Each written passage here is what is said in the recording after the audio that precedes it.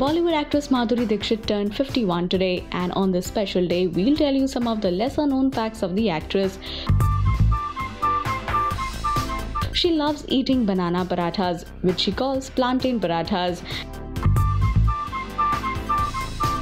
The American accent that she developed living in Denver, USA has almost disappeared after she moved back to Mumbai with her husband and kids.